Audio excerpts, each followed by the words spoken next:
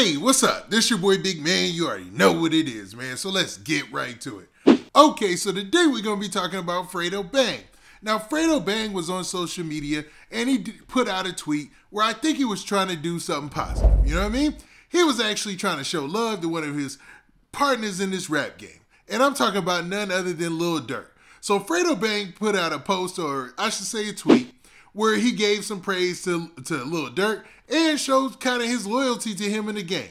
Now, it is no mystery that Lil Durk and Fredo Bang run together. You know what I mean? As far as the hip hop game concerned. You know, I'm not saying in the same crew or anything like that, but they do have a hit song together called Top. And Lil Durk and Fredo Bang, you know, they speak highly of each other in interviews and they've been in each other's videos and all that, right? Because remember, for the Back in Blood video, Fredo Bang was there in Chicago with Pooh Shiesty, man. So obviously there's a lot of respect there, right? Well, Fredo Bang putting out that tweet upset a whole bunch of people, man. He literally shook a bee's nest, man. And everybody started coming for his head to the point where he had to respond. And he had even a guy who was claiming 4K Trey or just even saying 4K Trey, you know, leaving him voice messages trying to diss him, man. It was crazy. It was wild, man. And on top of that, you had somebody from the other side in Chicago, and I'm talking about King Yella. And it's no wonder, man, that King Yella and Lil Durk are it, you know, they don't see eye to eye. We'll say that much, man. You know, they come from different sides. We ain't gonna get into specifics, right? But King Yella addressed the whole situation, which really shook it up on social media and has every, everything going viral, including that tweet. Now, before we play all these clips and talk about everything that went down, do me a favor. Make sure you hit that like button, make sure you hit that subscribe button, and man, let's get it. Okay, now that we got that out of the way, man, let's talk about this Fredo Bang tweet that made everybody upset. So let's look at this right here, man. So Fredo Bang went to Twitter and he posted this. It says, if at Lil Durk say you, I feel the same way with a whole bunch of gorilla emojis. You know, two gorilla emojis after that. And basically in this, he's saying, if Lil Durk don't rock with you, I don't rock with you. If he say forget you, I say forget you. You know what I mean? And that's the clean version of what he's saying here. You know what I mean? Now, when he said this, most of the day, most people didn't say anything back. You know, it was kind of chill. But recently, man, everybody started to react to this tweet. And one person in particular that reacted was King Yella.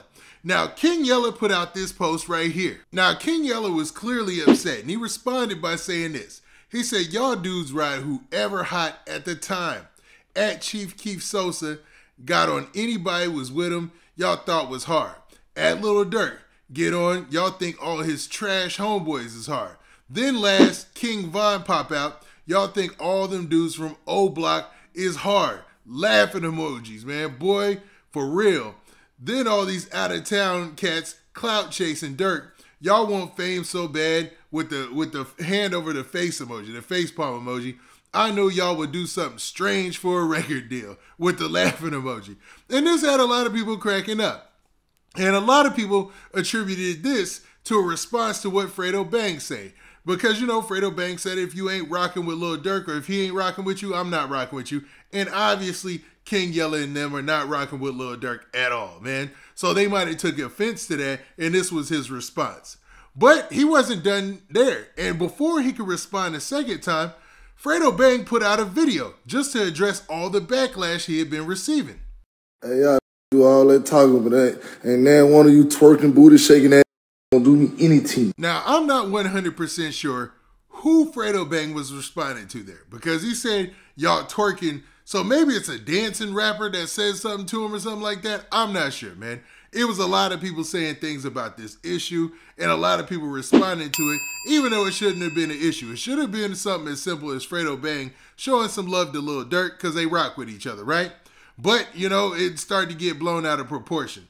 To the point so that Fredo Bang posted several stories and one including somebody dissing him, saying they, you know, talking about 4K Trey and all this, man. And he posted it in his story, and it's up there now. But the dude uses so much, you know, he uses language that isn't YouTube friendly, so I couldn't even post it if I tried, right? Now, Fredo Bang wasn't done there. He also posted this just to show that he wasn't clout chasing, that, you know, he was legitimate in his sentiment, right? And that it's not the very first time that he's ever posted a rapper that he was rocking with. So he posted this. Now, as you can see in this tweet, Fredo Bang was putting out a tweet where he showed all his old tweets where he shouted out other rappers. Because you can see the very first one, it looks like Lil Baby. He told him, you know, he cleared a verse for him, so he gave him a lot of props. Then here's another one where he shouted out uh Mozzy, so he let Mozzy know that he showed him, you know, some love or whatnot, and that he's a dope person, even though they never met. Then you see Polo G. He said Polo G was solid, and it looks like he sent out all of these tweets at the same time, including the Lil Durk tweet. So just letting it be known that he wasn't clout chasing Lil Durk, that he was showing love to a whole bunch of different artists that he rocked with. You even see he said, I watched Pooh Shiesty and Big 30 get it out the mud and get rich. So he shouted out Pooh Shiesty and Big 30. Then finally you see Rob 49, who's a new artist out of New Orleans, and he's saying that he's next up. So this was Fredo Bang's way of trying to clear that thing up and let it be known that, yo, man, I'm just showing love to the cats that I rock with in the industry. This ain't no clout chasing move or nothing like that, man. But it seems like a lot of people took it the wrong way, and that's kind of killed that, right? Because he's got proof there that he wasn't just singling out Lil Durk and just saying that one thing to him. He was giving props to everybody. Now, King Yella also responded to people online and their backlash to him with a video. And in this video, he goes off a bit, man. And he talks about a lot of other artists. He doesn't name people specifically when he starts dissing, but you can kind of get an idea of who he's talking about in the post. So let's look at the video. Look, let's keep this gangster. On GOD, I ain't never said I'm the hardest on earth, the hardest rap. On GOD, there's hella that's better than me. But I know I got potential and I know I know how to make music. But what I'm saying is this. They talking about why you ain't say nothing. Chase Young Boy, his homies, whoever. That's just cause what I'm saying is these main rappers chasing they homies to, get close to these is trash. You Von, Dirt, Keith, any that come from O Block, then y'all want to get down on the GDs. Stop playing. We've been doing this for years. My mama really doing this though. It's really trash though. Y'all said somebody said a shooter, a gangster, or something, uh, or say they name, clout them up. Be trash. Let's keep hunting. And you blogs and from out of town, you get into politics, but y'all get mad when we say name and. All you niggas. That's how I feel. Ain't no clout chasing or nothing on game. This trash. Y'all support it. Oh, fire. That be weak as hell. Let's keep this gangster. Now, in that video, King Yella said several things, man.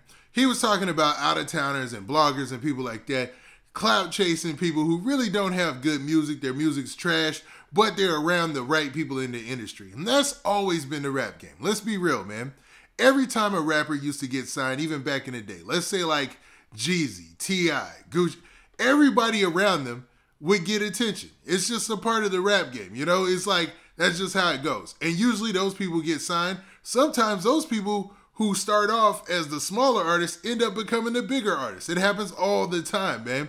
But that's just, you know, it shows interest. Once fans clue in on you and you got features on your album and you're one of the hottest artists in the game, let's use Lil Durk for an example. Like this is his fourth week, right?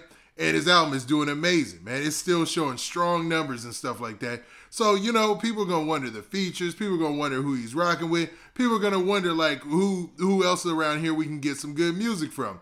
And I think King Yella is mis- mistaking that for clout chasing. But who knows, man? What do you guys think about this whole situation? Do you think that King Yella has a point? Do you think that as soon as a rapper just blows up crazy like King Von, like Lil Durk, like Chief Keef did back in the day and stuff like that, that other rappers gravitate to him and other and people start to gravitate to him and try to make him and blow up their crew just as much? You know what I'm saying? Pause. But or is that just a natural progression in the rap game? Something that we always see take place. Now with that, this been your boy Big Man. Do me a favor. Make sure you hit that like button, make sure you hit that subscribe button, and make sure you hit that notification bell so that way you get a notification every time I drop this hot content. And we out of here. Peace.